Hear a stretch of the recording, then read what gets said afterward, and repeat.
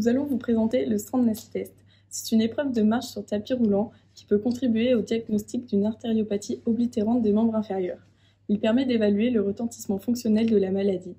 Il est surtout utilisé en cardiologie. Il existe plusieurs variantes de ce test. Le patient doit être au repos depuis 15 minutes. Pour la méthode que nous présentons, le patient monte sur le tapis roulant, pieds nus, et marche à une vitesse de 3,2 km/h. La pente est nulle en début d'examen pendant 2 minutes, puis est augmentée de 2% tous les 2 minutes jusqu'à atteindre les 20% de pente. Le patient peut se tenir au bar du tapis, mais il ne doit pas s'y appuyer avec ses mains. L'artériopathie oblitérante des membres inférieurs est une pathologie entraînant une obstruction partielle ou totale des artères des membres inférieurs par la formation de plaques d'athérome au niveau de la paroi interne des artères. L'apport de sang et d'oxygène dans les muscles des membres inférieurs est diminué, entraînant une ischémie progressive des tissus et donc une douleur.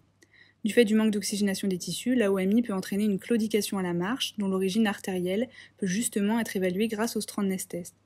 Selon Ségolène Chaudru, Pierre Géanin et Al, ce test offre une vision représentative du temps de marche sans douleur.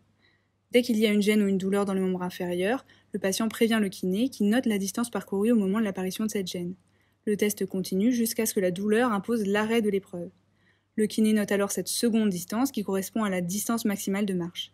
Si aucune douleur des membres inférieurs n'est reproduite, l'épreuve prend fin au bout de 500 mètres parcourus. Ce test n'est qu'un indicateur et permet d'orienter vers un diagnostic d'AOMI.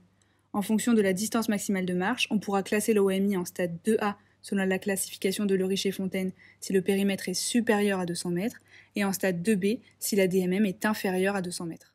Ce test est un indicateur qui permet d'orienter vers un diagnostic d'AOMI. Il peut être associé à des mesures de la pression au niveau des chevilles en pré- et post-test.